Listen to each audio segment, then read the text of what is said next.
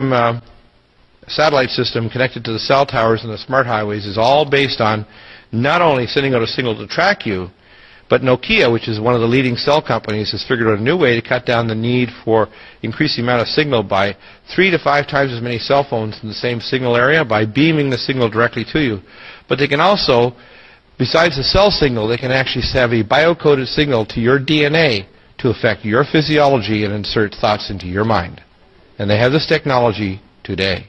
And Nokia is directly involved. If you go to these cell phone companies, either Bell Laboratories or you go over to Nokia over there in Helsinki, what you'll find is that these are highly classified and you have NSA agents, NSA agents and above government technology, top secret and above top secret, all over the place.